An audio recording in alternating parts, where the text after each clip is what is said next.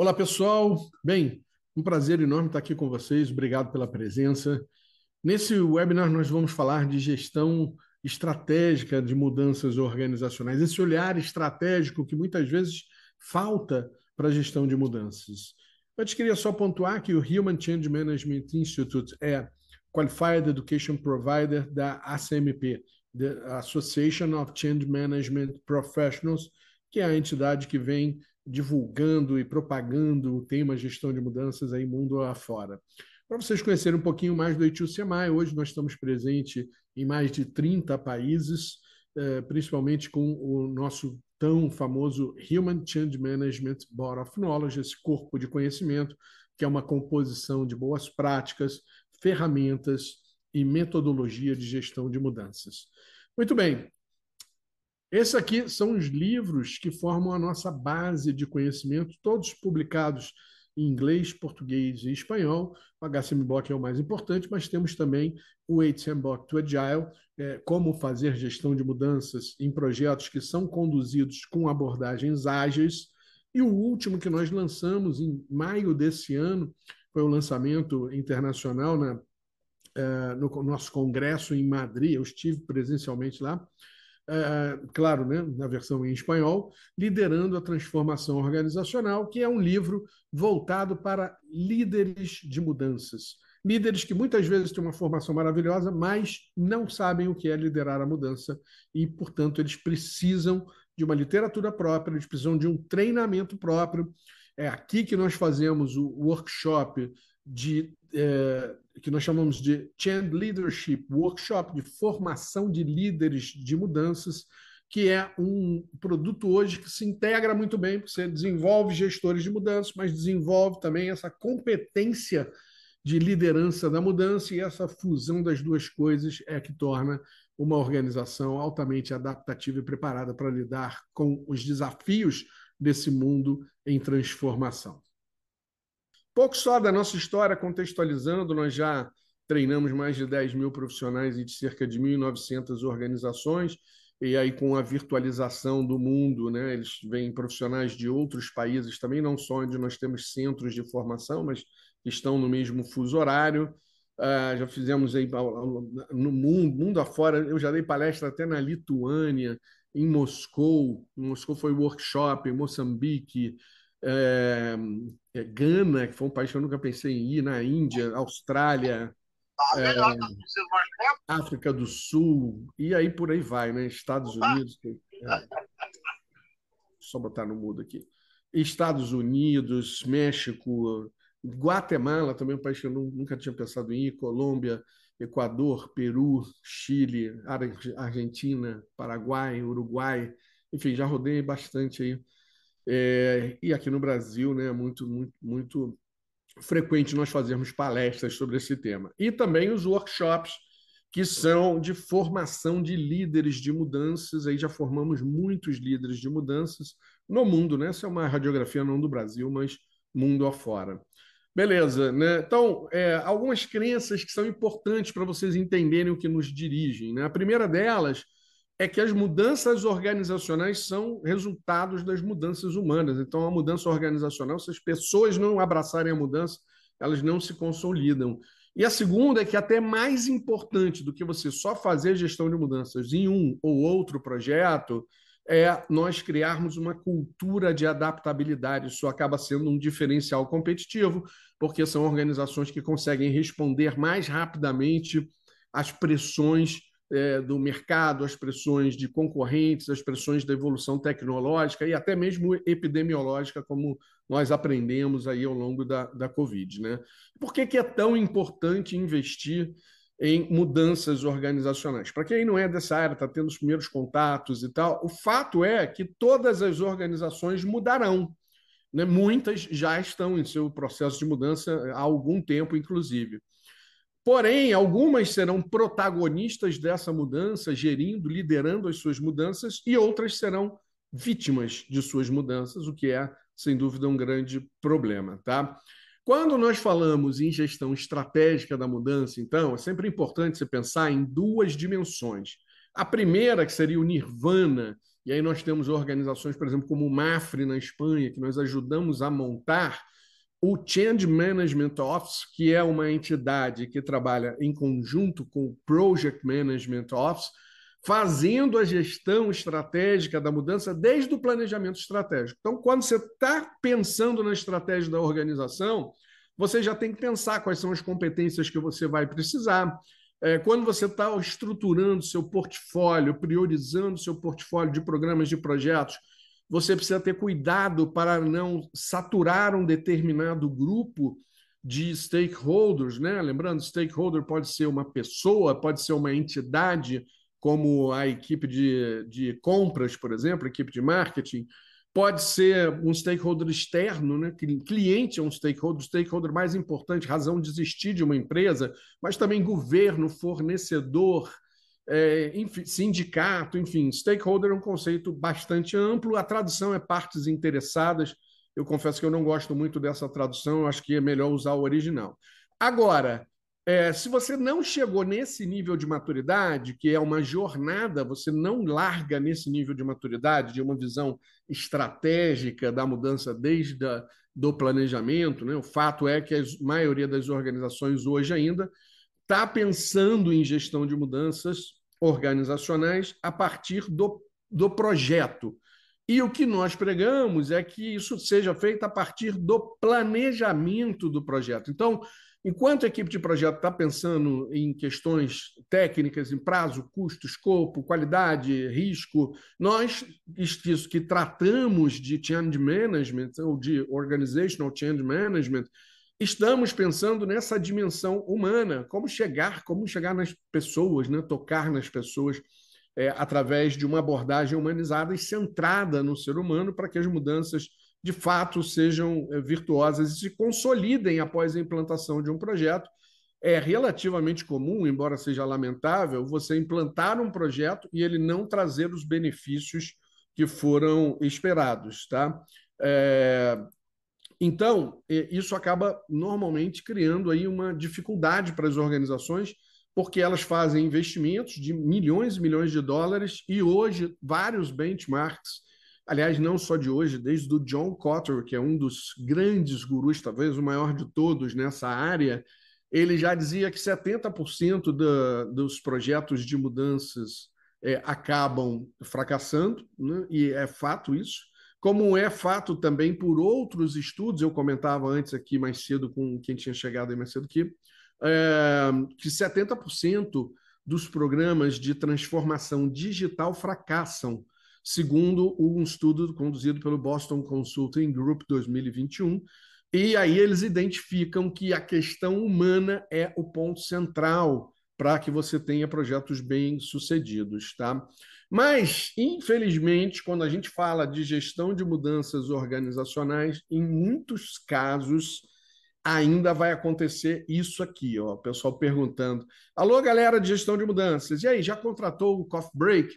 E aí, agendou a sala de reunião? Gente, são atividades assim. Claro que não tem nenhum problema da gente contratar o coffee break, né? Se a gente também está ligado nas questões humanas, mas é muito pouco diante de tudo que a gente precisa fazer, pode e deve fazer, né? Também existe essa pecha aqui de abraçador de árvore, né? Ah, gestão de mudança, que é pessoal, né? Que cuida das coisas lúdicas, do espírito de equipe, de motivação, que são importantes, mas também não tenho nada contra abraçar árvore, mas assim, a nossa atividade, a nossa profissão, é, no meu caso, que só faço gestão de mudanças organizacionais, embora eu venha de uma carreira muito bem sucedida na área de tecnologia da informação, fui diretor de tecnologia da informação, trabalhei em grandes empresas, trabalhei nas organizações Globo, trabalhei na Vale, é, comecei minha carreira lá na antiga Anderson Consulting, que hoje é Accenture. Então, tenho uma trajetória. E, aliás, foi quando eu percebi a importância dessa dimensão humana uh, para o sucesso das empreitadas que eu conduzia. Quando muito, a gestão de mudanças, ela trabalha aí sendo um pouquinho mais valorizada ao longo dos projetos é, em questões como comunicação, treinamento e às vezes também chega a tratar de impactos organizacionais. Gente, impactos organizacionais são extremamente importantes, devem ser identificados, precisam de um plano de ação, devem ser tratados, mas a realidade também é que estes são aspectos tático-operacionais, não são os estratégicos da gestão de mudanças. São importantíssimos, devemos fazê-los, mas antes a gente precisa ter uma visão estratégica da gestão de mudanças. E também é fato que muitos profissionais de gestão de mudanças vivem reclamando do, dessa, dessa questão de que ah, no, meu trabalho não é tão valorizado, sabe que na minha empresa ainda vem gestão de mudança aí como quem é, contrata o coffee break, não sei o quê. Ok, beleza, mas em parte disso a culpa é nossa mesmo, porque nós ainda precisamos aprender a falar o idioma do management. Nosso trabalho não será compreendido enquanto nós conduzirmos apenas uma abordagem é, é psicológica. Claro que a psicologia ela é fundamental. O próprio HCM Box inspira na psicologia, na antropologia, tenho uma base de ciências sociais também.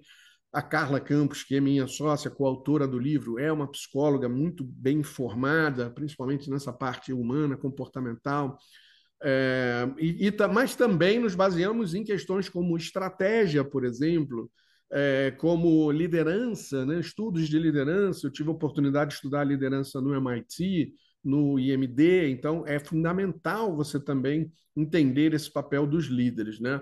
E um dos problemas é que a gente ainda fala uma linguagem muito hermética, por exemplo, a gestão de mudanças. Imagine que você vai falar para o presidente da sua empresa que é importante fazer gestão de mudanças, porque essa é a disciplina que ajuda as pessoas e organizações a mudar ou a fazer a transição do estado atual para o estado futuro. Gente, isso aqui é muito fofinho, mas é pouco prático. O presidente não vai botar dinheiro com base nisto aqui. Ele não vai botar dinheiro em gestão de mudança se ele não entender que existem coisas é, que são estratégicas e que são tangíveis, que é o que a gente vai trabalhar. Então, quando a gente fala da terceira geração de gestão de mudanças, Aí a gente já sai de definição clássica para objetivo. Você pode ficar só com a parte amarelinha ou laranja, que é por que, que eu tenho que focar no fator humano? Para ampliar as chances de alcançarmos ou superarmos os resultados esperados dessa empreitada. Aí ele para para ouvir. Aí o líder quer saber, peraí, como é que é? Né? A, gente, a gente aumenta a, o resultado, é, mais do que dobra. Aí, aí a gente tem que falar a linguagem deles Precisamos apresentar os benchmarks, os estudos feitos por organizações sérias como o PMI, como já mencionei aqui o Boston Consulting Group, uh, eh, EY, que tem feito também estudos muito interessantes, uh, mostrando a relevância do fator humano, como você consegue melhorar em muito o resultado uh, dos projetos em termos de alcançar o valor benefício, objetivo estratégico que é esperado para aquela empreitada, tá? Mas é, é, fato, então, que a gente tem aí um lado, vamos dizer assim, acadêmico importante, falando de gestão de mudanças, tem um lado todo é, lúdico, que é, é importantíssimo também. Mas o fato é o seguinte: se você for interagir no mundo executivo, você Oi? vai ouvir frases Consigo, desse tipo aqui, ó, como eu né, muitas vezes ouvi dos meus chefes, né, de presidente de empresa, e até hoje ouço é, nas minhas interações, que é basicamente isso aqui: ó. eu não quero saber se o pato é macho, eu quero os ovos. Né? E ponto. Então, o, o mundo acadêmico ele tem que se aproximar, se alinhar com o mercado. Não adianta a gente ficar falando né, de coisas etéreas, de coisas intangíveis, né, de coisas que, ah, não, mas isso se ampara na ciência. Se ampara na ciência, mas também tem que se amparar no mercado, o que o mercado fala, isso é importantíssimo. Né? O que é ciência, o que é psicologia, o que é antropologia, isso tudo vale para nosso conhecimento, para nós transformarmos uma organização através das pessoas, junto com as pessoas, é, e nunca apesar das pessoas, mas não adianta você só falar isso, tá? Você precisa ir por um lado mais para né? E aí conhecer as variáveis que influenciarão engajamento ou que fomentarão antagonismo, resistência à mudança, desde a origem do planejamento, da iniciação e planejamento do projeto, vai ser sempre muito importante, tá? Porque se nós é, entramos num projeto, lá no, no meiozinho do projeto já começou, ou o projeto já está até na sua fase avançada de execução, você, é, nessa metáfora aqui, é como se você estivesse dentro da floresta. O máximo que você vai enxergar são as árvores que estão ao seu redor. Mas talvez você esteja tomando uma trilha que vai em direção a uma ravina ou um penhasco que não vai te permitir seguir em frente.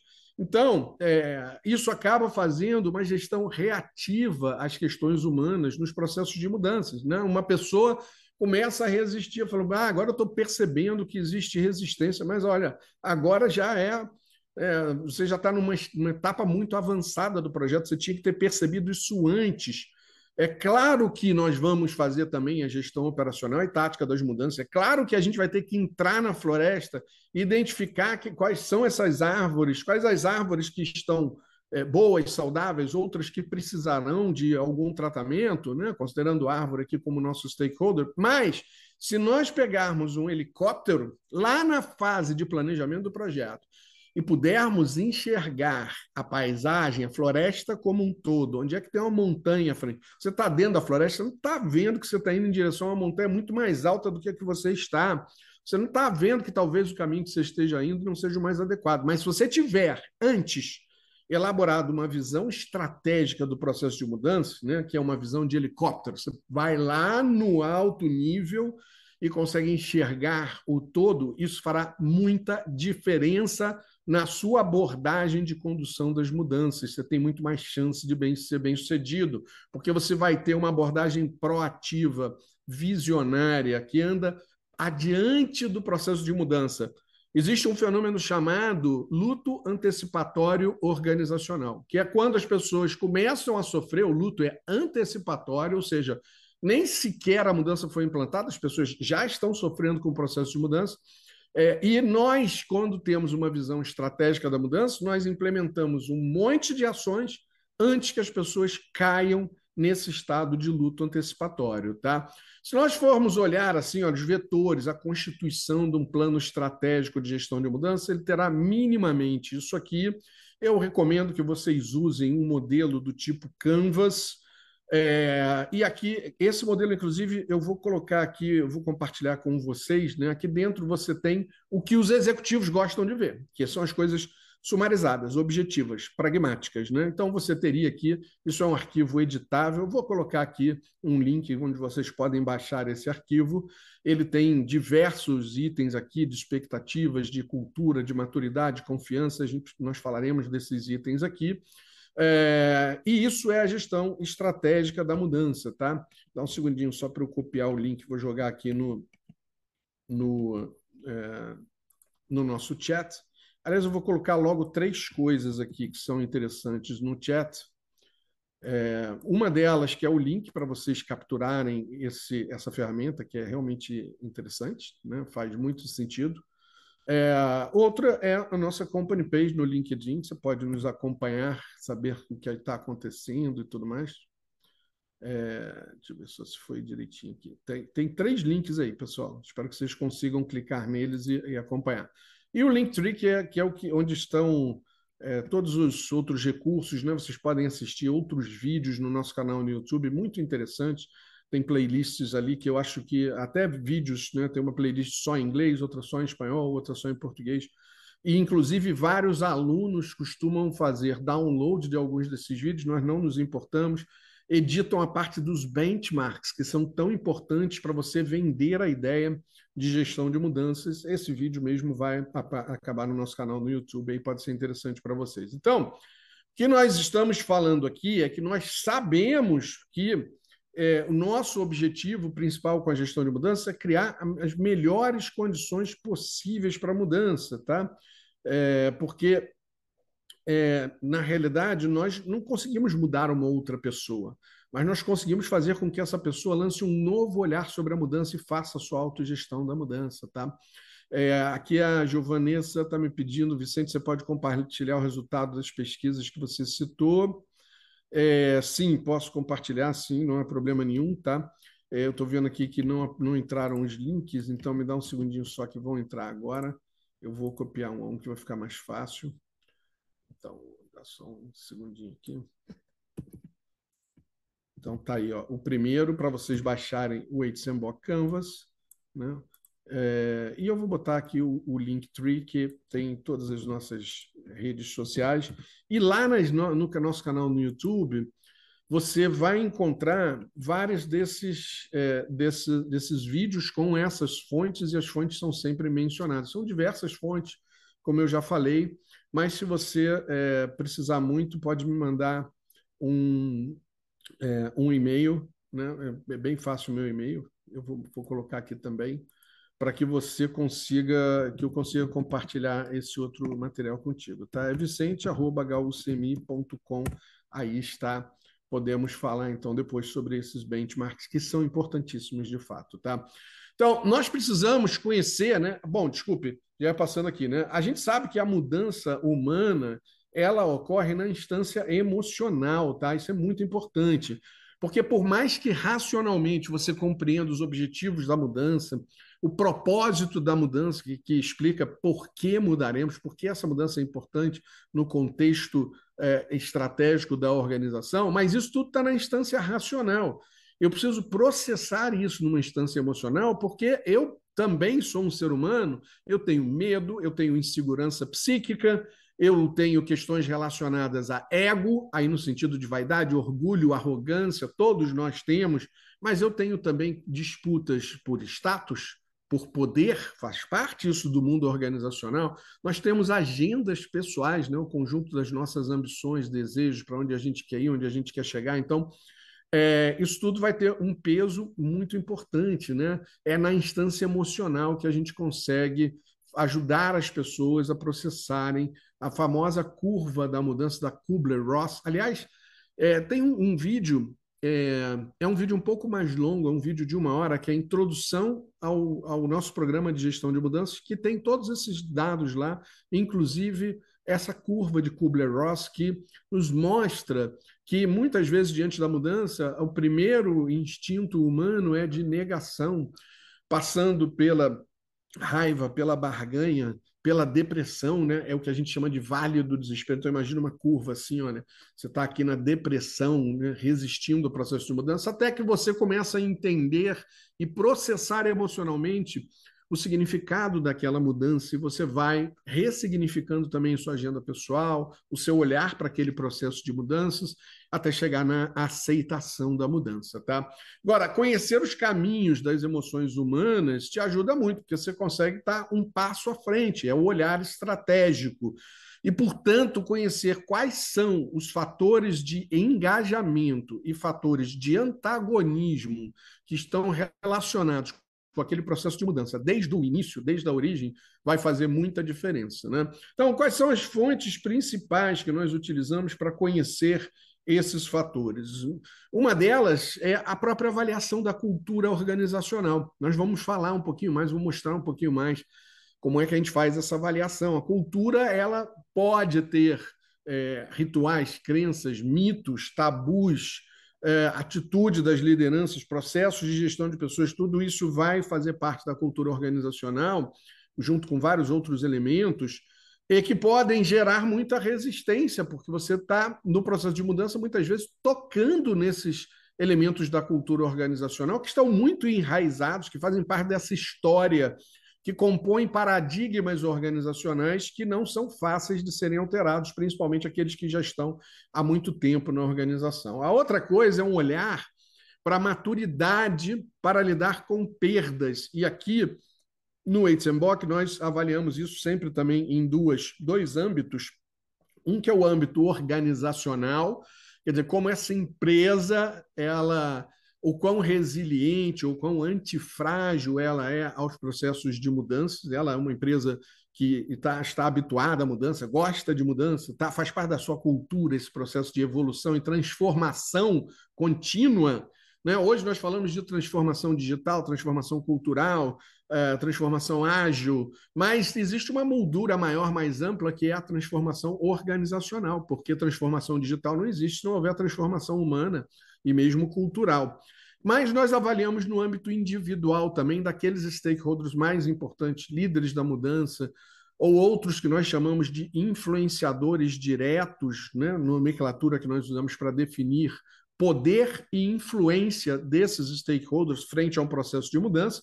Então, aqueles que estão mais conectados com o passado, com a nostalgia, com o saudosismo, têm muita dificuldade de mudança. E aí tem técnicas processos de cocriação, processos participativos, indução ao protagonismo, tudo isso são técnicas de gestão de stakeholders que nós utilizamos, nesse caso aí no âmbito individual. A outra fonte é a questão da confiança, confiança que as pessoas têm. Nós temos que avaliar nessa visão estratégica se existe confiança nos seus líderes e mesmo na própria organização, que é o que nós chamamos de credibilidade organizacional. Porque se nós estamos falando de uma organização que ao longo do tempo deixou cicatrizes organizacionais, ou seja, fez uma mudança de natureza impositiva, ou fez uma mudança sem gestão de mudanças, e aí o engajamento foi baixo, as pessoas criaram resistência. Como nós vivemos hoje em processo de transformação contínua, vai ser muito mais difícil você fazer a próxima, o próximo passo da transformação da sua organização. Quem desconfia não mergulha com tudo. Se eu chego na beira de um lago e eu não sei se esse lago é raso ou fundo, se tem uma pedra, né, se tem um galho ali dentro, eu não mergulho de cabeça. Eu primeiro vou conhecer o terreno, né, nesse caso a água ali, vou entrar, vou apalpar tudo, e aí eu posso dizer agora com segurança, ó, pode mergulhar de cabeça que está tudo bem. Então, quem desconfia não mergulha na mudança. Por isso é tão importante nós identificarmos antes. Às vezes, quando o profissional de gestão de mudança, ou quem está conduzindo alguma mudança, começa a enfrentar um monte de barreiras lá na execução da mudança, não sabe qual é a origem dessas barreiras. É, a origem está lá na falta de uma visão estratégica, de um baixo nível de confiança que as pessoas têm nas nas suas lideranças ou na própria organização. Tá? E, por fim, também o contexto da mudança da organização, o momento que ela está vivendo. Né? O mercado está saudável, ou o mercado está em crise, ou essa organização está passando por um momento que, de, por exemplo, de é, é, é, executivos que estão aposentando, existe uma luta pela hegemonia, pela sucessão, o ambiente interno, se é uma organização familiar que está é, se, se, profissionalizando. Então, isso se, sempre é situacional, é uma radiografia do momento, não tem a ver com a cultura, é, pode ter algum peso de confiança, claro, mas é, são circunstâncias da organização que ela está vivendo nesse momento. Né? Basta ver o que está acontecendo no mundo dos bancos hoje. Então, nós temos bancos super tradicionais, alguns que estão mais saudáveis, outros que estão menos saudáveis, já perderam até a sua posição de liderança no mercado, porque você tem entrantes, né? como todos nós conhecemos, os bancos é, que são bancos é, das fintechs, né, chamadas fintechs, os bancos digitais, que estão aí tomando uma fatia importante do mercado. Então, isso é situacional, não tem a ver com a cultura, né, mas tem a ver com o momento que essa empresa está vivendo. Então, é, a nossa visão de gestão de mudanças é tenha uma visão estratégica. Você, ao, ao construir uma visão estratégica, você terá necessariamente que interagir com as lideranças da organização e elas vão começar a ver o seu projeto é, e, e, o seu programa de trabalho com outros olhos, porque elas vão perceber que você está fazendo atividades que são essenciais para o sucesso da empreitada, não são só essenciais para você, não, ao contrário, né? são essenciais para a empresa.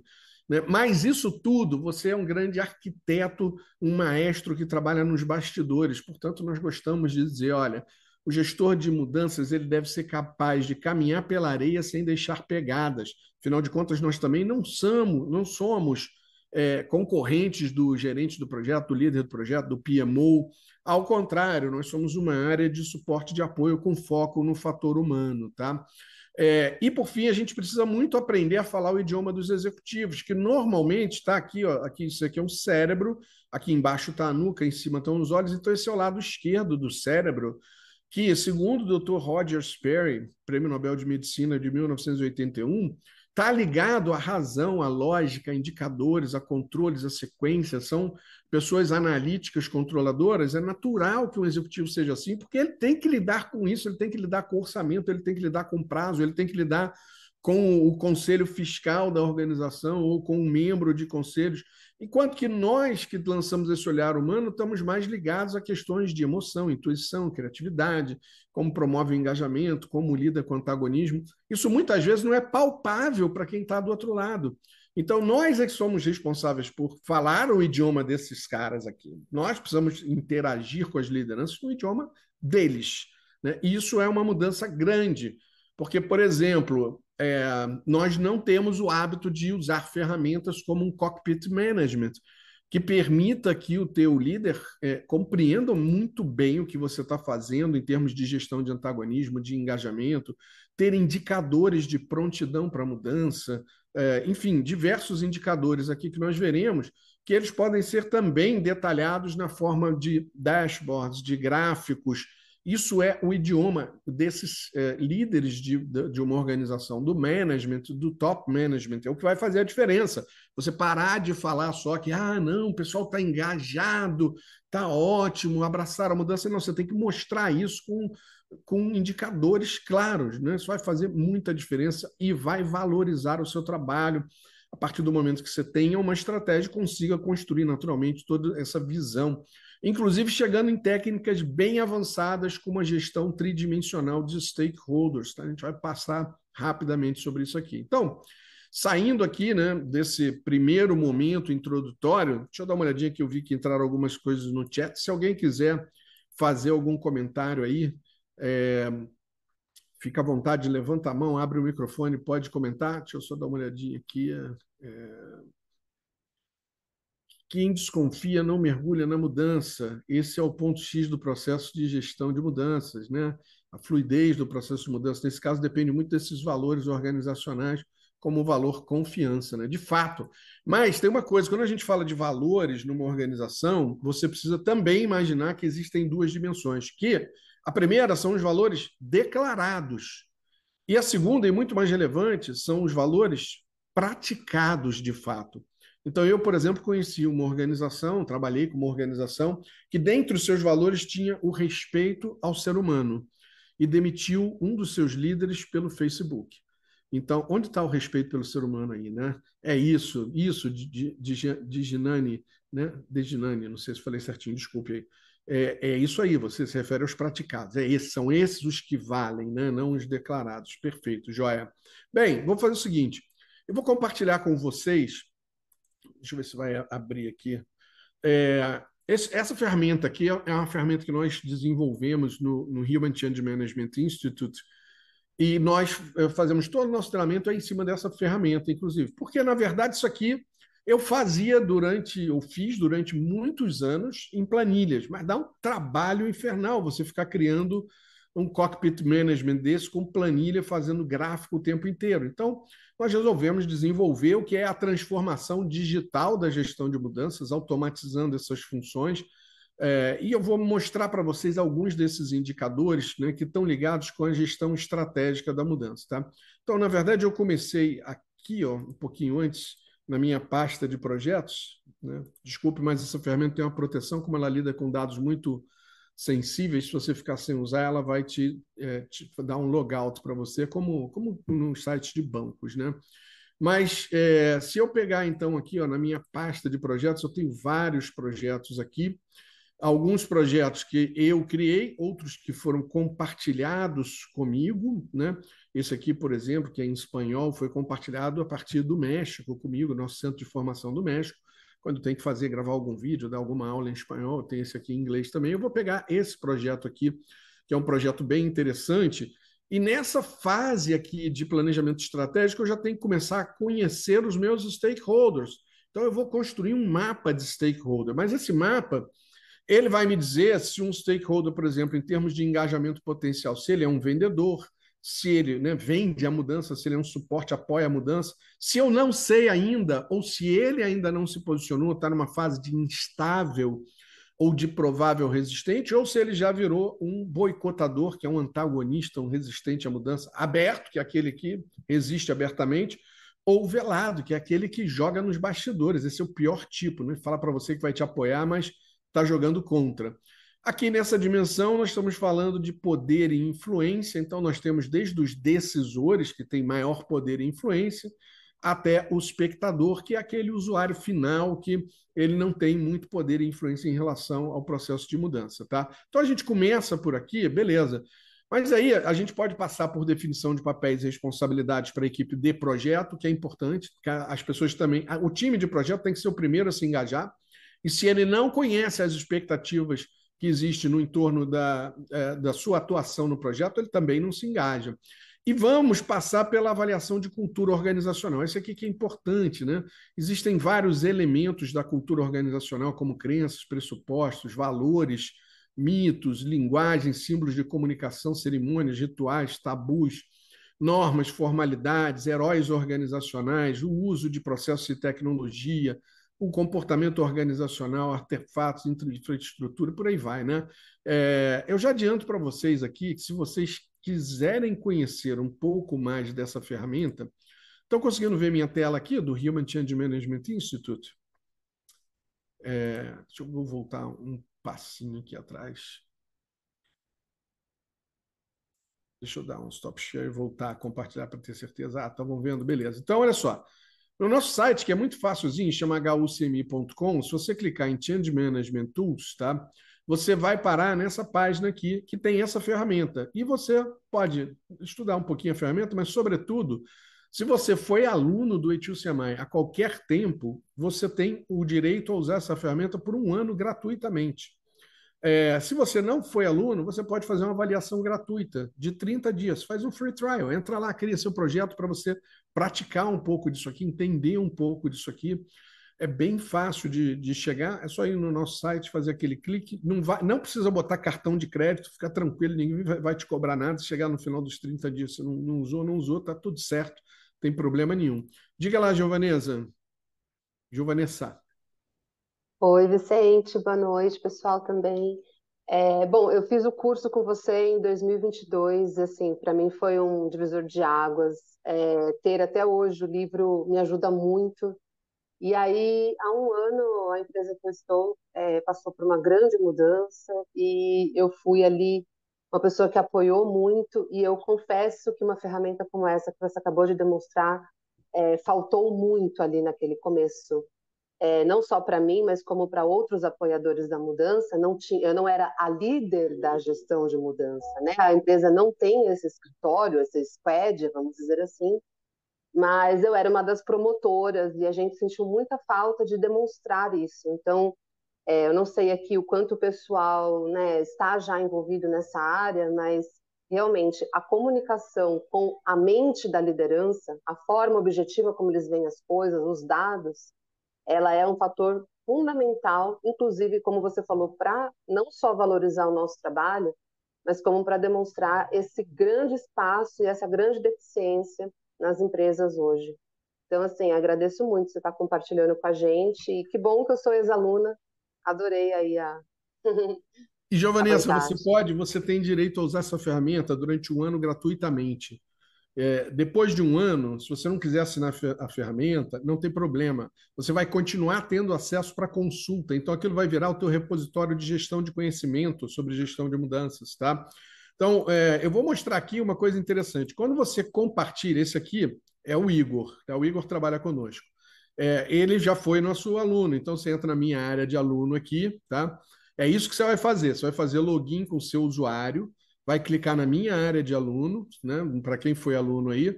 E aqui nas ferramentas do, do, do HSMBOK, você tem o HSMBOK Tools. Você vai clicar aqui, você vai direto para o HSMBOK Tools. Agora veja o seguinte: digamos que o Igor fosse o líder desse projeto Pitstop.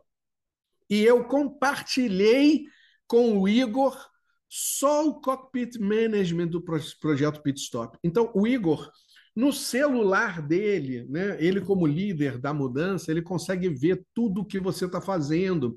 Por exemplo, nós estamos mostrando aqui que existe baixa prontidão para mudança, né? A gente vai falar mais sobre isso. Então, é, você tem, né, aqui você veja só, ele não tem acesso às outras funcionalidades, mas ele consegue ver e acompanhar o andamento do processo de mudança.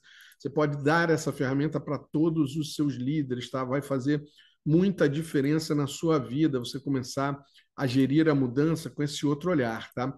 Mas, é, para dar continuidade aqui é, e mostrando como, por exemplo, como é que a gente chega aos fatores de antagonismo e engajamento. Então, eu já falei de confiança, maturidade para lidar com perdas, mas eu poderia ter como origem a própria cultura organizacional.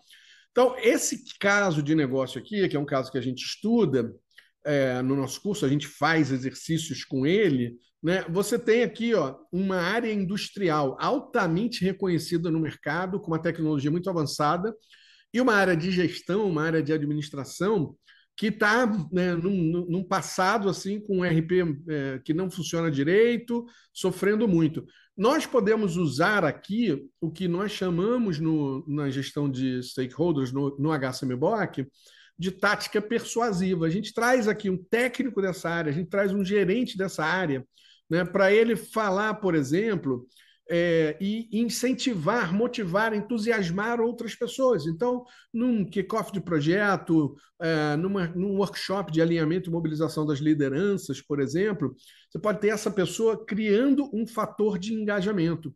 Assim como nós podemos ter também, e nessa empresa aqui havia uma certa disfunção no exercício do poder, então os gerentes gerais ganharam muito poder pela omissão dos diretores é, e isso aqui tem um impacto na mudança, porque você acaba gerando. É, você tem uma turma super empoderada que não quer a mudança, que vai ter pouca assertividade no processo de tomada de decisão. É, normalmente, eles fundamentavam as decisões deles muito, muito baseados na intuição e não em dados e indicadores. E aí, por mais que você mostre indicadores, você tem aqui um fator de antagonismo. Quando você é, já define isso numa avaliação de cultura organizacional. Você tem que fazer lá na definição estratégica. Se o projeto já começou, tu já está atrasado com a avaliação de cultura, tá?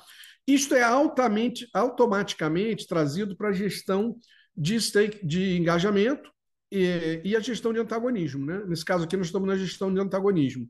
Então, olha só, vai aparecer aqui esse mesmo fator de antagonismo, a palavra do. Já vou aí, Isabel. A palavra do gerente geral não é questionável e tal. E para isso você vai ter que planejar uma ação. Só que nós não temos o poder de aprovação das ações.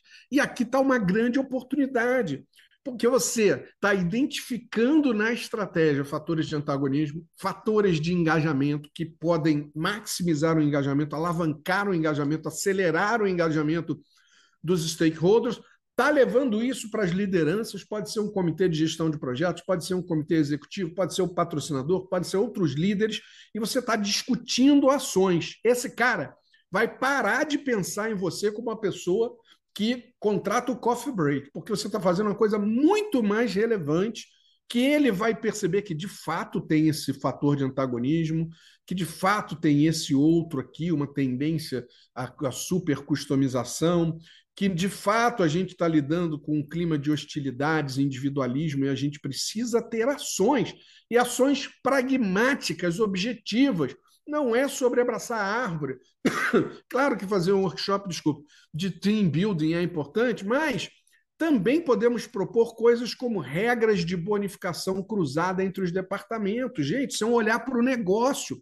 A diretora de finanças, quando viu isso aqui, isso aqui é um caso real, tá? Que eu trabalhei. Quando viu isso aqui, falou assim: nossa, nunca pensei que a gestão de mudança fosse me propor uma coisa dessa. É claro, vamos fazer aqui um grupo focal de cocriação para resolução ou para sugestão de ações é, que possam vir a ser implementadas para mitigar ou eliminar fatores de antagonismo.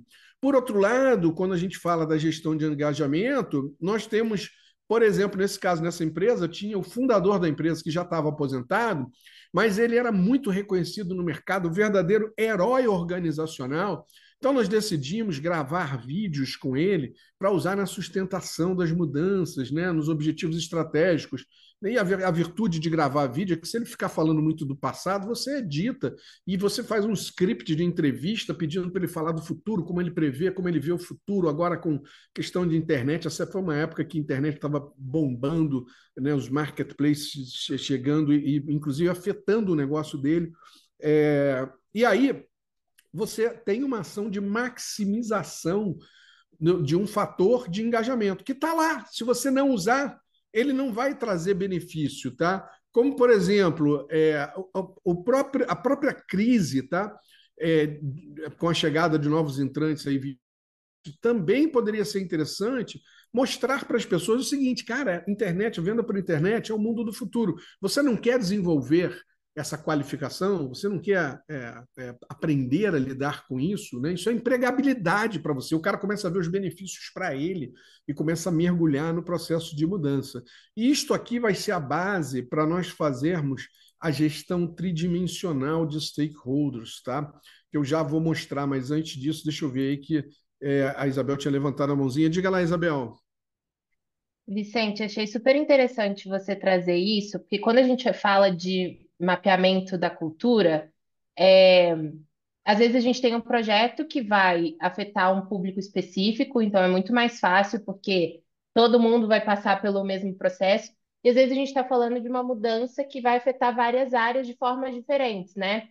É, então, também trazer esse olhar para subculturas e não sair do pressuposto de que a gente já sabe tudo é super importante para a gente conseguir pensar nesse nível de ações específicas, né? Porque a gente vai ter Exatamente. que tratar os diferentes de forma diferente, porque senão uma ação não vai necessariamente atingir todo mundo, né? Então, acho que o valor está aí, em conseguir também olhar subculturas e as necessidades específicas de cada público, né? Perfeito, Isabel, muito bem colocado. Porque, olha, a subcultura da área é, de, de logística não é a mesma da, da área de compliance, que por sua vez não é a mesma da área de marketing, por exemplo. Tá? É por isso que quando nós fazemos a gestão de antagonismo, nós estamos atribuindo essa ação aqui a estes stakeholders. Né? Não estamos atribuindo a todos. Né? Já, você poderia até ter uma ação ligada a um único stakeholder. Né? Essa aqui, ação, por exemplo, está ligada a usuários finais, usuário-chave, fornecedor, gente, fornecedor do sistema, ele é stakeholder também, né? Então, você, você pode direcionar e deve direcionar ações, tanto de engajamento quanto de antagonismo, especificamente para determinados players, né, stakeholders que são importantes. Isso vai valer também para impactos organizacionais, tá? Você, de novo, aqui, na medida que foi percebendo os impactos organizacionais, você vai identificou o impacto, você vai definir uma ação, mas você não é capaz de aprovar essa ação. Inclusive porque existem impactos assim muito severos, como por exemplo, esse aqui nós vamos otimizar processos de comercial e logística a fim de obter ganho de sinergia e reduzir em 5% o headcount das equipes. Gente, essa redução de headcount ela pode levar, inclusive, a ter várias ações para um mesmo impacto organizacional. Você vê que aqui ó, tem uma, duas, três ações e que vão afetar stakeholders diferentes, em datas diferentes, com responsáveis diferentes pela condução dessa ação. Agora, você, para aprovar essa ação, de novo, você vai sentar com a liderança e discutir com a liderança. E esse cara vai começar a olhar e falar: gente, gestão de mudanças é isso gestão de mudanças está tratando de temas do negócio, redução de headcount, mas que tem que ser articulado com a questão humana para não gerar é, um, um, um, luto antecipatório, para não gerar é, cicatrizes organizacionais. Eventualmente você vai perder talentos, justamente as pessoas que você queria reter vão acabar, tem, as que têm a maior empregabilidade, vão acabar pulando fora da empresa e você tem que ter algum planejamento para lidar com essas coisas, tá? Então, quando a gente chega aqui na gestão tridimensional dos stakeholders, a gente consegue entender o seguinte, olha, se eu fosse simplesmente pegar meu mapa de stakeholders e colocar nesse modelo gráfico, todos os vendedores estariam no mesmo nível, assim como todos os que são suporte, como todos que são estáveis. Mas isso não é verdade, porque nós temos os super vendedores. Está aqui ó, o Eustáquio Araújo, que é o presidente da empresa, que foi quem propôs novas diretrizes estratégicas que estão motivando essa mudança. Ele é, uma, é o grande vendedor dessa história. Mas, por outro lado, eu tenho stakeholders que são vendedores. Eu identifiquei como vendedores pela minha percepção, pelo jeito que eles falam da mudança, pelo comportamento e as atitudes que eles têm. Mas, espera aí, tem alguma coisa errada. Porque essa diretora de finanças aqui, que por sinal era super alinhada com o presidente, tem alguns fatores de influência, que são fatores de antagonismo. Eu vou agora para a terceira dimensão de gestão de mudanças e vou entender que, olha, tem fatores aqui da gestão de antagonismo que têm um impacto individual. Para ela, isso aqui é muito importante ela não gosta de ver os seus pares sendo omissos, né? E aqui foi pensado um programa de mentoring do presidente com os diretores, só que ele não foi ainda resolvido. É, como a questão de bonificação anual era um problema, porque tudo que se decidia na empresa era para ganhar bônus, e ela é a guardiã do resultado financeiro. Então, isso também incomodava muito a ela, né? dentre outras coisas. E aí, digamos que aqui, ó, se a gente vier no Cockpit Management, nós vamos perceber que a gente fez todas as ações de gestão de engajamento, mas só 20% das ações de gestão de antagonismo. Então, digamos que a gente viesse aqui agora para a gestão de antagonismo e nós resolvêssemos o seguinte: ó, nós temos que fazer muito mais, gente. Gestão de antagonismo não está boa. Basta você ver lá na visão tridimensional que tem stakeholder que está incomodado com isso, tá? Então, se eu vou aplicando essas ações, claro que não é assim tão rápido quanto fazer um clique aqui, né? Mas comecei o processo de mentoring com o presidente, é, eu comecei a mudar, a, a, estabelecer novas regras de bonificação. Enfim, eu fui resolvendo aqui esses fatores de antagonismo. Né? Vou, vou botar só mais um aqui. Digamos que isso aqui agora já está é, em voga. Só de eu começar isso aqui, na minha visão tridimensional de stakeholder, já, opa, já há uma movimentação desses stakeholders. Só que agora eu tenho que voltar, porque nós estamos falando de human change management, de interação humana, de uma pegada humana, de mudar através das pessoas, de, de colher esse feedback das questões emocionais. Então, começou o programa de mentoring, deu a primeira semana, a segunda semana, a terceira semana, eu vou lá conversar com essa diretora e ela tem uma percepção de que, olha, é, eu acho que o comportamento dos nossos diretores está mudando. Né? Ainda não está lá exatamente como eu gostaria, mas eu diria que o impacto, assim, para mim agora é baixo disso aqui. Isso vai se resolver. É, esse, esse, aqui não está resolvido ainda e tem um impacto alto, né? Mas isso aqui, ó, ah, estabeleceu novas regras de, de, de bonificação. Gente, isso aqui agora, para mim, tá, não, esse fator de antagonismo já não tem mais impacto para mim. Isso foi, não foi só mitigado, ele foi eliminado, tá? Então, só de alterar esses dois aqui, é, nós vamos perceber que já há um reposicionamento dela nessa visão tridimensional do stakeholder. Onde é que ela veio parar aqui, ó, gente? Ela já está acima da linha dos vendedores, que seria essa linha 100 aqui dos vendedores normais, tá? Imagine se a gente resolver mais coisas, ela vai virar a grande vendedora desse projeto.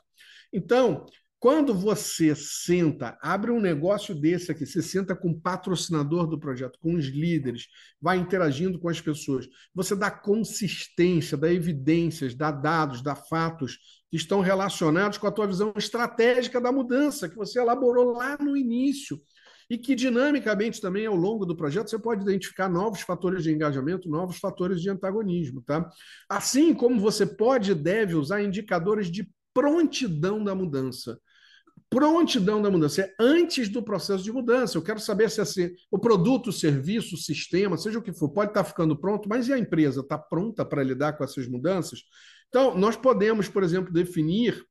Eu vou pegar um bem pragmático aqui, tá? Eu, eu tenho clientes VIP do atacado. Gente, isso aqui representa 60% da receita da minha empresa. Se eu estou fazendo uma mudança que vai afetar esse cliente, eu tenho que ter muito cuidado para não perder cliente por causa da mudança.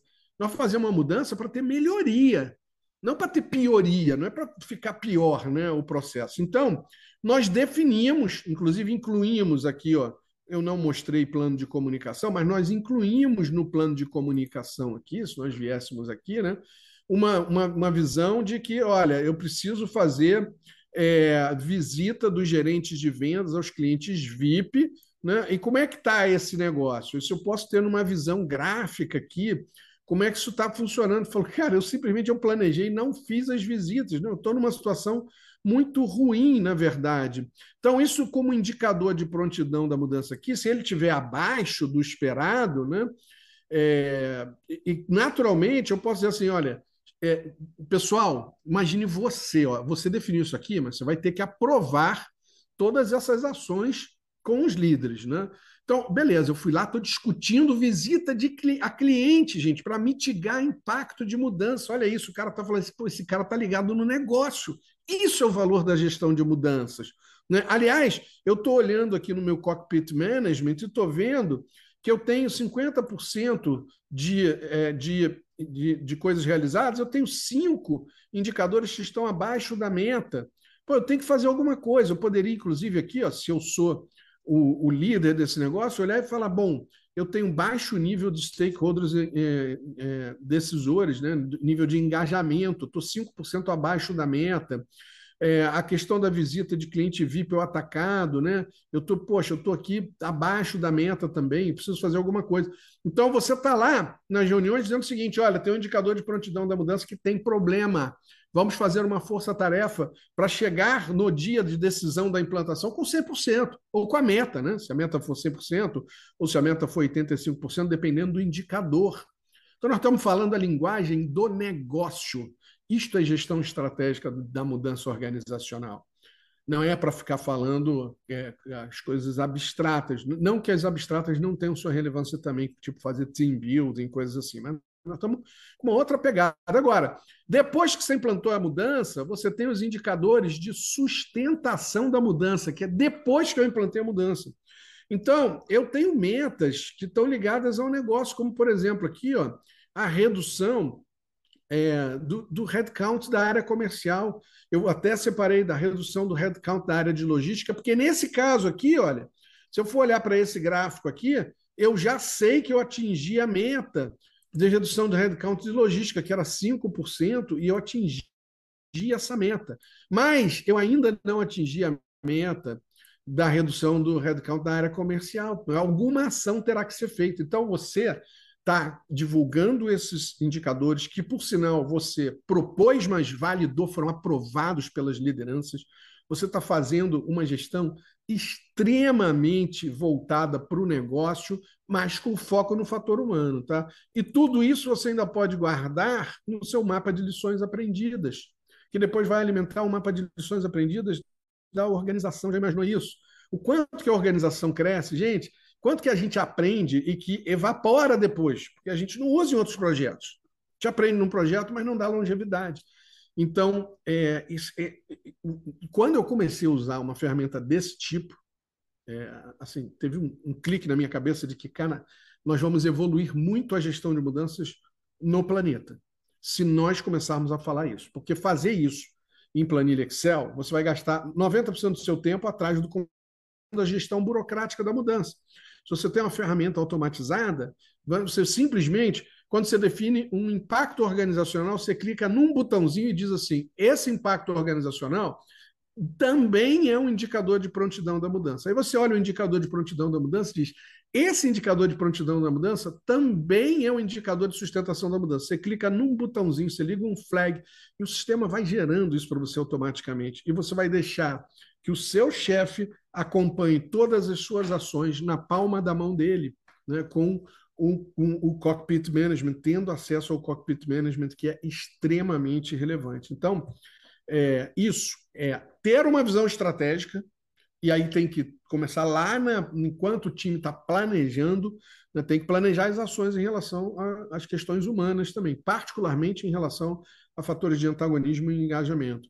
E depois você conhece agora a floresta, conhece o campo, conhece as montanhas, sabe onde tem um rio, onde tem um lago, onde tem um penhasco. Você vai navegar com muito mais tranquilidade e com muito mais profissionalismo. Você vai ser reconhecido pelo seu trabalho, porque você está falando o idioma das lideranças, do management, do top management. Gente, era isso que eu tinha para apresentar para vocês. Estou bem no horário aqui, mas de qualquer maneira, quero ouvir também se alguém tiver alguma colocação, alguma dúvida, alguma questão. Que tal? E aí, o que, que pareceu para vocês? Faz sentido isso? Ô, Vicente. Pois não. Tudo bem? Tudo. É, aqui tá Eu deixei ali uma pergunta. É, geralmente, qual é seu o caminho que vocês decidem tomar logo no início para levantar todas essas impressões, ter essas nuances, ter essa perspectiva de toda a organização, de toda essa profundidade é, que tem que ser conhecida e, e, e, levantada para poder fazer esse planejamento estratégico. Vocês costumam observação, entrevistas, focus groups, é, qual é o caminho que vocês costumam tomar? Essa fase inicial de diagnóstico a gente pode dividir é, em três ações que são muito importantes, tá? Primeiro, a gente precisa conhecer os stakeholders, criar vínculos, criar laços. Eu, particularmente, que sou é, consultor, quando é uma área de gestão de mudança da empresa, é mais fácil, porque é, as pessoas já têm conexões. Né? Mas digamos que, mesmo que você seja de gestão de mudança de uma empresa, mas aquele stakeholder, aquele líder, você nunca trabalhou num projeto com ele. Você vai primeiro agendar uma conversa é, que é uma reunião, então é uma conversa formal. E numa conversa formal, Ana Cecília, as pessoas vêm armadas, preparadas para dizer tudo que você quer ouvir. E aí você tem que desenvolver é, um pouco de uma perspicácia, sagacidade, de perceber que, eventualmente, a linguagem corporal, que é, as entrelinhas, que a emoção que está sendo colocada ali, ela está desdizendo alguma das falas daquela pessoa. Ótimo. Você não precisa é, confrontar de imediato, porque você estabeleceu uma primeira relação, agora vai ser no cafezinho, no corredor, no almoço, né, que você vai, através de relacionamento informal com essa pessoa, você vai perceber as sutilezas, porque aí ela está desarmada, você pegou ela naquele momento. E isso vai ter que compor o seu diagnóstico. Né? No treinamento, quando a gente fala de âmbito organizacional, maturidade para lidar com perdas no âmbito organizacional, no âmbito individual, aí tem, na verdade, quatro itens para cada uma dessas coisas que a gente avalia. Aqui eu não tinha condição de dar uma aula completa, então eu falei muito amplamente. Tá? A outra técnica que a gente usa são os grupos focais. Os grupos focais eles têm uma vantagem de você pegar um, grupo, um número maior de stakeholders ao mesmo tempo, mas tem uma desvantagem de que eventualmente algumas pessoas ficam é, assim intimidadas de colocar exatamente a sua opinião frente ao, ao, público. Mas a partir de um grupo focal eu vou perceber que a Ana Cecília ela precisa de uma interação individual agora. Então, existe um estudo da está publicado na Harvard Business Review também, que mostra que as interações individuais, olha, isso é no, nos Estados Unidos, no Brasil deve ser, o número deve ser maior ainda. Elas são 34 vezes mais poderosas do ponto de vista de você alcançar eh, alguma demanda, algum, alguma informação que você queira, ou alguma, algum, eh, alguma ação de uma outra pessoa, do que qualquer solicitação ou demanda que você faça por meios frios, como o WhatsApp, como um SMS, ou como um e-mail. Né? Então, quando a gente fala de Human Change Management, é interação humana. A gente precisa. Só que para ter interação humana, tenho que ganhar produtividade. Eu tenho que usar ferramentas que me, me permitam ter tempo para trabalhar com as pessoas, para entender no âmbito individual o quanto determinado fator de antagonismo afeta na Cecília, porque para você, Ana Cecília, o impacto individual pode ser alto, e para Isabel pode ser médio, é, e para o Lucas pode ser baixo, e para o Mateus pode ser nenhum. Aliás, é melhor tirar o Mateus daquele fator de antagonismo, porque para ele nem é um fator de antagonismo. Então, se nós não interagirmos com as pessoas, nós não saberemos. Claro que nós podemos lançar mão de mecanismos de massa, como pesquisas, questionários, mas o mecanismo de massa te dá a visão da massa. E a visão da massa nem sempre é uníssona e nem sempre te dá é assertiva, mesmo porque é comum as pessoas responderem uma pesquisa politicamente, elas respondem aquilo que você quer ouvir. Se o cara não está engajado, você pergunta como você está vendo a mudança. O cara fala, estou vendo com bons olhos, mas não está. Isso você só vai saber se você interagir com a pessoa. Né? Porque existe uma contradição. A mentira para o cérebro é extremamente complexa. Então, quando a pessoa tem que mentir, ela, o processo cognitivo é completamente diferente, porque ela vai acessar a verdade e vai ter que construir uma narrativa para dar veracidade à mentira que ela está contando, para parecer verdade. Isso é tão complexo que o corpo te entrega, que as expressões faciais te entregam. Tem um livro que eu uso muito, de um rabino chamado Newton Bonder, que é... Eu vou pegar aqui para mostrar para vocês que é interessante. Até a mão aqui. É esse aqui, ó o segredo judaico para a resolução de problemas, tá? Uhum. Esse livro é base do nosso estudo, do, ajuda muito, está muito presente no HCMBOK. O Newton Bonder ele vai apresentar aqui a filosofia judaica chamada Yiddishkop, que mostra que os, os problemas, as questões, elas têm é, normalmente duas dimensões. Então, tem a dimensão do aparente, mas tem a dimensão do oculto. E quando você interage com uma pessoa, muitas vezes ela está só na dimensão do aparente. E cabe a você perceber que existe o oculto do aparente. Assim como existe até o oculto do oculto, que é tão oculto que nem a pessoa sabe, porque é uma manifestação do inconsciente. Nesse capítulo que ele fala do oculto do aparente, ele abre com uma frase muito interessante, é um provérbio Yiddish, que diz o seguinte: uh, quando o convidado tosse à mesa, está lhe faltando o talher. Então, imagine que eu te convidei para almoçar na minha casa, esqueci de botar o talher para você. Você não quer ser indelicada e me chamar a atenção e falar: olha, está faltando o talher.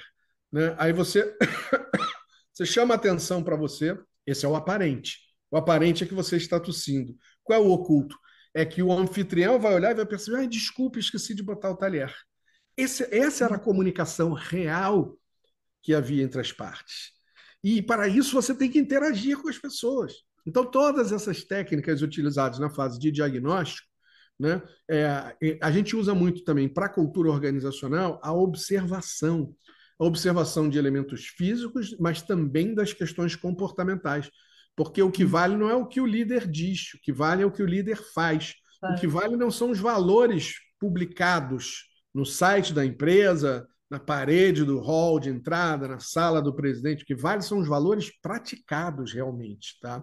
E isso você vai ter que viver um pouco a empresa, respirar essa atmosfera da cultura organizacional para identificar. Eu tenho vários e vários casos que eu conto no, no treinamento, aqui não terei tempo para contar. É, inclusive, convido vocês, se quiserem conhecer o nosso próximo treinamento, é no dia 16 de setembro. As inscrições estão abertas ainda. E, e, tem, inclusive, se eu não me engano, amanhã é a data para você, você com pagamentos antecipados, você tem uma data que você tem um desconto é, adicional. Né? Você tem um pagamento facilitado em quatro vezes sem juros. Você pode fazer até, se eu não me engano, é até 5 de setembro. Tá? Eu não lido muito com essa parte administrativa, mas tem as datas lá com descontos e tal, que vale a pena dar um mergulho lá no nosso, no nosso site para entender um pouco melhor desse assunto. Tudo bem? Respondi, Ana Cecília? É, não, ele respondeu, obrigada. Respondeu sim. Valeu. Diga lá, Isabel. Vicente, ainda sobre esse ponto, é, você comentou muito sobre a necessidade da gente criar uma relação de confiança, né, de credibilidade mesmo, quando a gente está nesse papel de, de gestor da mudança. E, e é muito fácil a gente perder a credibilidade é muito difícil reconquistar, né? Sim. E esse ponto que você estava falando de como iniciar essas relações, me veio também é, um ponto que acrescenta que assim, a gente come, começa as relações ali, mas depois a gente precisa continuar é, alimentando, né? E dando retorno do que, que vem dessas conversas. Então, uma coisa que eu vejo que funciona bastante aqui em alguns, eh, alguns casos que, que eu já tive que conduzir, é desses primeiros momentos serem muito discutativa mesmo, sem juízo de valor para criar esse ambiente de confiança, mas o mais importante é depois dar o retorno para as pessoas do que, que saiu daquela conversa, os feedbacks que vieram, porque principalmente para os antagonistas, eles geralmente trazem feedbacks muito duros, né? E que Sim. às vezes estão totalmente desconectados com o objetivo da mudança. Então é uma forma também de ir conseguindo reverter essa galera, né? Então. Tem que praticar isso aqui, ó. Perfeito. Comunicação não violenta, né? É ouvir. Muitas vezes a gente. Eu falo muito sobre isso quando falo em comunicação, né? É... E é muito interessante que nós fazemos curso de comunicação eloquente, comunicação persuasiva, oratória, mas nós não fazemos curso de escutatória. Né? Se você não for psicólogo, não for um profissional de ciências sociais, dificilmente você está realmente preparado para ouvir. E aí você usou uma palavra que é importantíssima, que é escuta empática. Né? Aliás, empatia é a competência número um dos profissionais de mudança, que é essa capacidade de você se colocar no lugar do outro. Mas para nós, a empatia vai além disso. Porque, por exemplo, digamos o seguinte, Isabel, eu te convido para vir aqui a Teresópolis, comer um churrasco comigo. Aliás, está convidada. não sei onde você mora, mas se vier, será muito uhum. bem-vinda. Aí, digamos o seguinte: ah, não, eu, eu, eu, eu gosto de servir uma salada verde antes do churrasco, tá?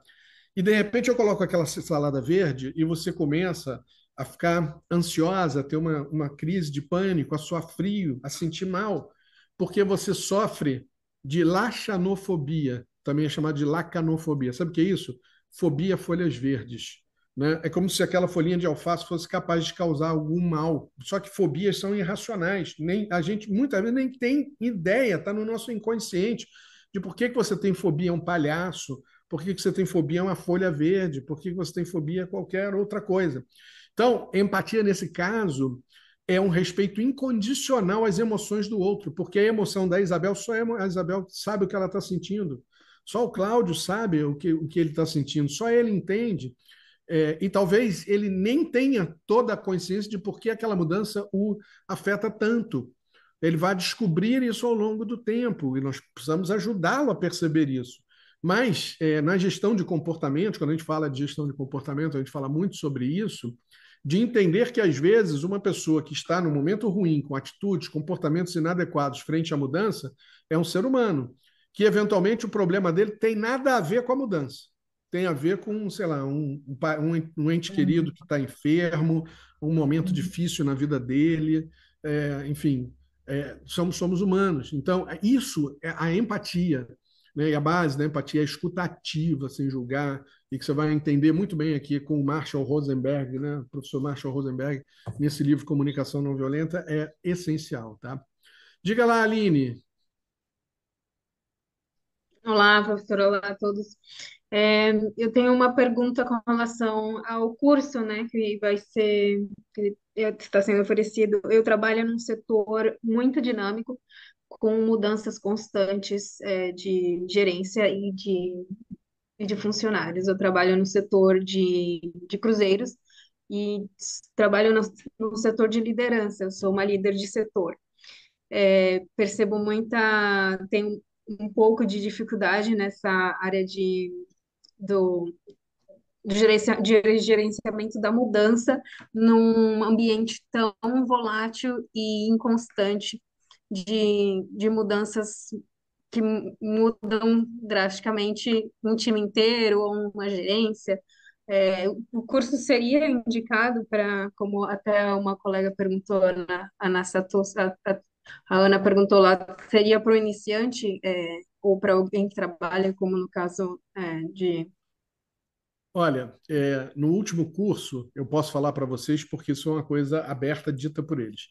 Nós tínhamos dois policiais da, da Polícia Rodoviária Federal que estão desenvolvendo a parte de gestão de mudanças organizacionais, gestão de mudanças humanas, para esse projeto que o governo federal tem de colocar câmera né, nos policiais federais. Isso né, tem é, à luz da, da, da, visão dos policiais, isso tem benefícios, mas tem malefícios também. Tem, é delicado você botar uma câmera e ficar filmando ali o tempo inteiro toda a ação do cara.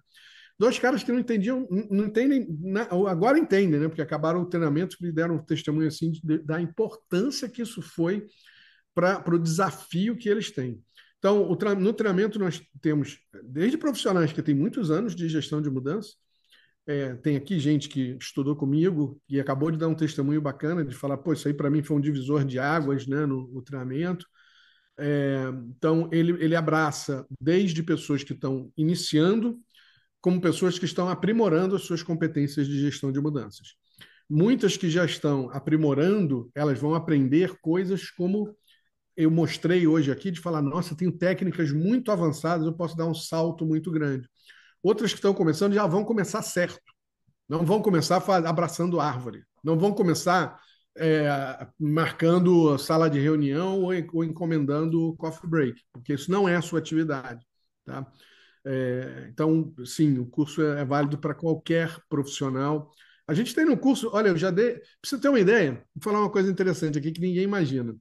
A Colômbia foi um país que viveu 50 anos em guerra com as Forças Armadas, né, as Farc.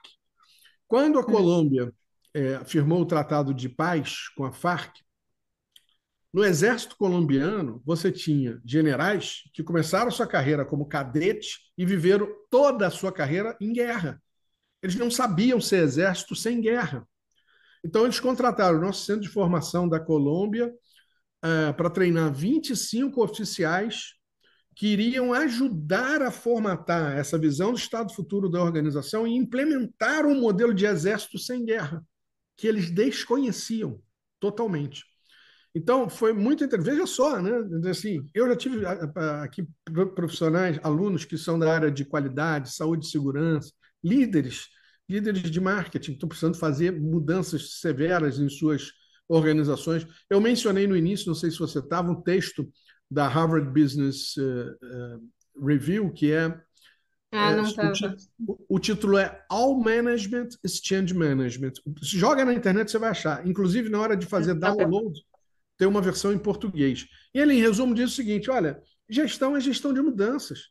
Porque se você precisa melhorar a produtividade, você vai fazer mudança. Se você precisa ganhar market share, né, ganhar mais clientes e tal, você vai fazer mudança.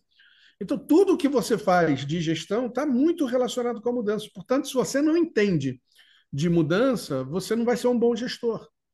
Na realidade, você pensa sempre o seguinte: tudo que a gente desenvolve numa organização é feito através das pessoas para prover um produto ou um serviço para pessoas. Logo, se você não entende de pessoas, você está lascado. Por melhor que você seja com números, né? Eu trabalhei no projeto do metrô do Rio de Janeiro para as Olimpíadas, a extensão do metrô para as Olimpíadas de 2014 e 2016. Eu interagia com 13 engenheiros. Isso eu posso falar, de alguns clientes eu não posso mencionar o nome, mas esse eu posso falar, porque, inclusive, eles já falaram em congressos citando o nosso trabalho de gestão de mudanças junto a eles. 13 engenheiros, caras super cartesianos, entenderam que era gestão de mudanças e atribuem boa parte do sucesso do projeto é, ao trabalho de gestão de mudanças. Inclusive, lá no nosso canal no YouTube, a gente fez um seminário em 2019 e eu convidei o, o vice-presidente de engenharia do Grupo Invempar, do qual o Metrô Rio, na época, fazia parte, que é uma entidade privada, não é uma entidade pública. Hoje ele foi é, vendido para um outro grupo chamado Mubadala, mas na época ele era o vice-presidente e ele foi falar do papel do patrocinador na gestão de mudanças. É, imagine, um cara super engenheiro, entendeu o que é a, o poder do fator humano e soube tirar benefício disso. Né? Eu diria até que, se não fosse isso, talvez não tivesse ficado pronto a tempo das Olimpíadas, tá? e não tivesse deixado o legado que ficou para a cidade do Rio de Janeiro. Bem, tem alguns comentários aqui, deixa eu só dar uma olhadinha no, no chat aqui. Interessante aqui. É, o curso também aborda a gestão de mudança em ambiente dinâmicas e constante de mudanças, sim, sem dúvida, né? De gerentes funcionários pela natureza do trabalho, né? É, é, por tempo de contrato, sim, claro, sem dúvida. Quando você cria um Board of Knowledge, né, HCMBOK é um acrônimo de Human Change Management Board of Knowledge, um corpo de conhecimento. É um conjunto de boas práticas, ferramentas, como HCMBOK Tools, é, e metodologia, que é escrito com um negócio desse tamanho para pegar todo tipo de mudança. E uma das atividades que a gente faz no planejamento estratégico, inclusive, é selecionar do HCMBOK o que eu vou usar e o que eu não vou usar. Porque ele tem 242 é, atividades. Você não vai usar todas, né? dificilmente vai usar todas. Um projeto muito complexo. Né? Mas sim. Qual o mecanismo principal para levantar todas essas impressões? Entrevistas foi o que a gente comentou. É, é já você respondeu. É, Beleza, tranquilo. Acho que esse primeiro momento precisa sempre ser de ouvir o outro, né? Já falamos aqui, uhum. Isabel até falou da escuta empática. Vicente, já tive a oportunidade de ser ministrada por você nessa temática. Sua notável experiência, obrigado. No assunto, certamente contribui muito com os profissionais de gestão de mudanças. Após esse webinar, só vejo o quanto se mantém preponderante a capacidade de leitura do ambiente, exatamente, saber ler o ambiente, fatores de antagonismo, fatores de engajamento. O profissional de GM deve ter Além disso, a alta liderança, como principal sponsor de um projeto de GMO, é fator crítico de sucesso. Sim, é um dos três fatores críticos de sucesso que o próprio PMI aponta numa pesquisa de 2014, mas que está viva ainda, porque aparece também no Boston Consulting Group, a pesquisa de 2021 sobre transformação digital, só que é patrocinador, engajado e ativo no projeto. Só que você tem que ativar o patrocinador, você tem que chamar o patrocinador e, falou, falar: identifiquei esses fatores de antagonismo, identifiquei esses fatores de engajamento, hum, é, sugiro esses indicadores de prontidão. Vamos fazer aqui uma reunião de discussão de indicadores de prontidão, sugiro esses indicadores de sustentação da mudança. Vamos fazer aqui uma, um grupo focal, vamos discutir, vamos validar, vamos aprovar e depois vamos acompanhar o projeto com base nesses indicadores. Então, é a oportunidade do seu trabalho ser valorizado e de colocar o, o sponsor, os líderes, como protagonistas da mudança. Porque, por vezes, esses caras se colocam como público da mudança, ou como vítima da mudança, até, que é pior ainda, né? Agradeço o compartilhamento do, do, tempo, né? Tem 30 anos de experiência em desenvolvimento pessoal. IGM é um fio condutor de toda implementação de sucesso. Né? Alianças estratégicas no processo de escolha dos stakeholders também. Exatamente. Aliás, no nosso blog tem um artigo que eu recomendo a vocês. É, se você entrar no nosso site, tem lá no cantinho direito, na barra superior, blog da mudança. Tem um artigo chamado Os Embaixadores da Mudança como formar essas redes de embaixadores da mudança, que são super importantes. E no nosso mapa de stakeholders aqui, você pode criar uma entidade chamada Embaixadores da Mudança e, e relacioná-los lá e atribuir várias uh, atividades de gestão de engajamento a esses stakeholders, tá? Tirando vantagem aí de uma rede de mudança, sim. Oi, Vicente, tudo bem? Sou da área de Consumer Insights. Hoje, curso Psicologia, gostaria de tra transicionar para a área de gestão de mudanças. Como você acha que o curso para verificação é indicado para iniciantes? Olha, primeiro o curso, a certificação em si já é um divisor de águas. Por quê? Porque hoje, por exemplo, uma empresa vai fazer uma contratação. Ela vai lá, pega o estagiário, manda no LinkedIn e fala assim: procura profissionais de gestão de mudanças, tá? Eu queria com a formação nessa certificação aqui ou no HCMBOK do E2CMI. O cara vai lá, bota, ele faz um filtro. HCMBOK, o E2CMI, HUCMI, e vai aparecer lá um montão de gente. Né? Ele vai na nossa lista de profissionais certificados que está no nosso site, ele vai encontrar um montão de gente. Então você tem Banco Itaú, Brazilian Foods, IBM, EY, mas um montão de empresas, Clabin, que contratam, são empresas top, que contratam e, e buscam profissionais certificados, que é mais fácil. Você pode falar, pô, eu tenho, eu tenho 20 anos de experiência no mercado, mas você não tem uma certificação.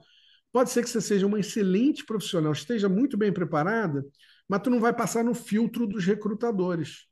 Vai passar desapercebido, que até porque esse recrutador é um estagiário, um analista júnior, né, que faz o primeiro filtro. Vai, esse cara vai aparecer lá com 20 currículos. Né? Depois, claro, vai chegar na mão de outras pessoas. Né? Aí preciso sair, agradecendo aqui o compartilhamento. O pessoal também precisaria sair, deixou o LinkedIn, a Isabel. Eu, infelizmente, não posso adicionar mais ninguém no meu LinkedIn. O LinkedIn tem um limite, não sabia disso, mas tem pessoas me mandando convite, eu quero aceitar e não posso. Então, peço desculpas a vocês. No máximo, a gente pode ser seguidor um do outro, tá? É, gratidão, Vicente. Estou lendo o livro Transformação Organizacional, gostando muito. Aqui, bacana, fico feliz. Conteúdo valioso. Boa noite a todos. Valeu. Pessoal, era isso que nós tínhamos para hoje, então. Foi uma ótima conversa. Alguém tem mais um último ponto aí para colocar, para a gente encerrar? É, Vicente, sim. É, tipicamente, alinhamento executivo. Como você aborda isso? Alinhamento? Executivo, das lideranças. Executivo. Tá. É. Tem uma, uma macroatividade que a gente realiza no, durante o plano estratégico de gestão de mudanças, que a gente chama de workshop de alinhamento e mobilização das lideranças. Tá? Se você pegar a literatura do John Cotter, é, o primeiro passo dos oito passos da mudança do John Cotter, o primeiro é criar o senso de urgência, o segundo é criar a coalizão para a mudança. Então, eu já tive experiências, por exemplo, Ana Cecília, de chegar numa fase de diagnóstico desse, começar a escutar as pessoas, e ali eu juntei três coisas importantes vi que tinha que fazer o workshop de alinhamento e mobilização das lideranças, porque as expectativas eram díspares, não eram convergentes. E eu abri o workshop mostrando o seguinte, gente, o que eu ouvi de vocês nessa primeira fase? Aí vinha assim uma frase na, na tela. O projeto já começou e eu não fui convidado. A segunda. O projeto já começou e eu faço parte do projeto. E a terceira. O projeto ainda não começou. E eu perguntei para eles qual das três vale, porque né, vocês que estão aqui pensam três coisas diferentes. E esse é o nosso momento de alinhamento. Né? Então a gente criou um marco de alinhamento de que não, o que tinha começado era o anteprojeto, não era o projeto. Agora sim nós estamos começando. Esse cara que disse que o projeto já tinha começado, ele não tinha sido convidado, já estava se posicionando como antagonista porque eu fui preterido, eu não fui envolvido, eu não fui considerado, né? E esse, isso para as emoções humanas é uma das piores que existe. As pessoas pulam fora. desembarcam mesmo da, da mudança porque foram desconsiderados. Mas não foram, nesse caso não foi. Faltava alinhamento. Então, sim, existem técnicas, às vezes a gente precisa fazer mais de um workshop, faz um. Quando há muito desalinhamento entre diversas camadas, você faz um com a diretoria, porque você tem que alinhar primeiro a diretoria para depois fazer um com a gerência, poder alinhar a gerência, sentir o que é necessário, faz, faz um com os coordenadores, para alinhar os coordenadores, vai fazendo em camadas. Tá? Extremamente importante. E tem mais. Não pode começar a executar a mudança sem o alinhamento. É. Porque expectativa não atendida gera frustração. Frustração é fonte de antagonismo.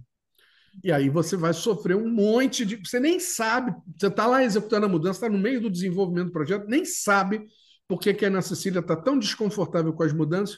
Porque faltou alinhamento lá no início. Tá? Eu vou te falar, frequentemente é, há desalinhamento. Essa é uma atividade que a gente não faz em todos os projetos, não. Tem projetos que é, eles acabaram de discutir isso no plano estratégico e resolveram implementar rápido. Então, está todo mundo alinhado, ótimo. Mas tem outros que você sente nas primeiras conversas que há desalinhamento, já, opa, gestão de expectativa, preciso alinhar antes de mais nada. Com certeza. Tá? Bom, Gente, então, olha, obrigado pela presença de vocês. Foi um prazer enorme para mim estar aqui. Sempre é. Deixo um beijo no coração. Convido vocês a conhecer um pouco mais do Itiuciamai lá na nossa plataforma, no blog, no Instagram, no canal no YouTube, no Facebook, essas coisas todas aí que eu coloquei para vocês. E vai ser muito bom se eu puder encontrar com vocês um dia num, num dos nossos treinamentos, tá? Ah, é tem, tem, tem, uma coisa que a gente pratica no treinamento, que é uma prática do Brasil especificamente, porque não é obrigatório pelo contrato do Itil Semai, mas nós abrimos a sala às 18h30 e oferecemos mentoria gratuita todos os dias, de 18h30 às 19 horas. 19 horas em ponto começa a aula. Tá bom? É ótimo. Obrigada, viu? Um beijo no coração. Tchau, tchau. Um beijo. Abraço. tchau. tchau. tchau.